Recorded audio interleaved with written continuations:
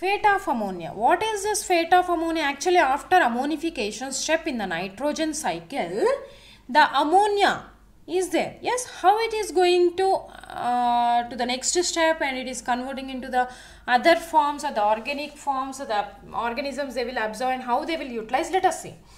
Okay, this ammonia at the physiological pH okay physiological pH this ammonia will be protonated.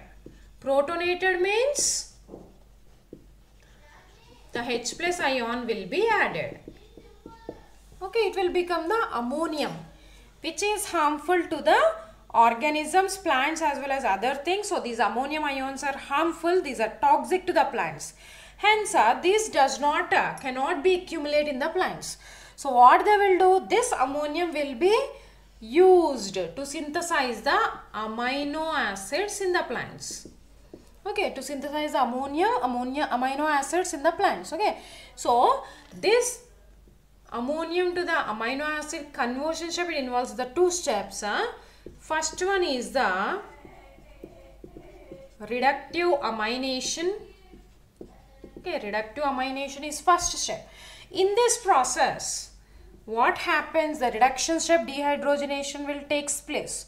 Reduction is nothing but the dehydrogenation right? So in this process the ammonium or the ammonia it will react with the alpha ketoglutaric acid. So this alpha ketoglutaric acid will act as a a precursor to synthesize the amino acid. So these two will bind together and they will form a amino acid that is glutamic acid. So this is the first amino acid which will be synthesized. Okay, glutamic acid is formed in the presence of dehydrogenase enzyme because this is a reduc reduction step. Yes, dehydrogenase enzyme will participate and it will perform the reaction, reductive amination reaction.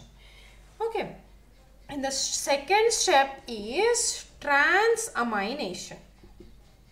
Okay, what happens in the transamination? The transfer will takes place. Uh, transfer of what? Amination, right? That is amino group will be transferred. So, this is the first amino acid, glutamic acid.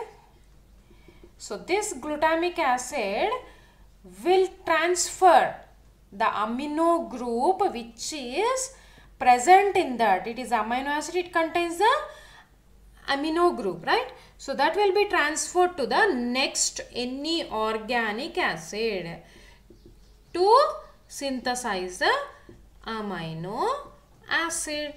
Okay this is the first amino acid and it will transfer the amino group to the next one to the organic acid. So it will become a amino acid. So this will be the donor and this is the acceptor. Final amino acid will be synthesized in the presence of transaminase enzyme. In the presence of transaminase enzyme, the complete reaction will takes place like this. The synthesis of the amino acids will takes place.